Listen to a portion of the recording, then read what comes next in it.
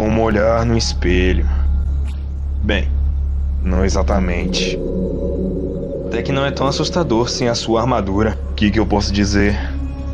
Acho que cansei do vermelho. Eu sei o que você é. É um resquício do tempo. Uma duplicata temporal. Criada quando você voltou no tempo e encontrou você mesmo. Você deu a vida a um resquício ano passado para derrotar o Zoom. E sua duplicata morreu, salvando o multiverso. E você continuou sua vidinha feliz. E teria continuado assim. Aí você decidiu bancar Deus. Você criou o ponto de ignição e mudou tudo. Eu fui no futuro e meu eu do futuro diz que criou resquícios do tempo para te deter. Que você matou todos eles. Todos menos um. Eu. Eu vivi. Mas uma coisa engraçada aconteceu.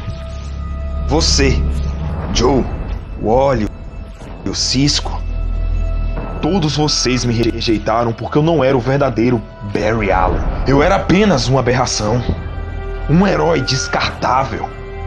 O seu eu do futuro esqueceu de mencionar isso, né? Como você se tornou o Savitar? Eu estava destruído sozinho. Eu queria que a dor acabasse. E foi aí que eu percebi a verdade, Barry. Deus não sente dor. E tudo que eu tinha que fazer era me tornar um. Eu só preciso de mais duas coisas: que a Iris morra, para que você afunde tanto na escuridão, para que eu possa nascer. E a outra? Pode parecer irônico, considerando com quem eu tô falando, mas essa eu vou guardar para mim. O que acontece se eu morrer? Se eu morrer, você nunca vai ser criado. Causa e efeito é uma coisa complicada. Não funcionou muito bem com o Ed, né? Ele deu um tiro no peito, o Tawny continua rondando por aí. Sabe, essa é a questão da viagem no tempo, Barry. Quanto mais você faz isso, menos as regras se aplicam a você. Mas tendo essa conversa agora, a gente tá mudando o futuro. Estamos.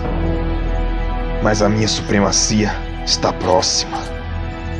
Quando eu tiver o controle de todo o tempo, é você que vai ser abandonado e esquecido.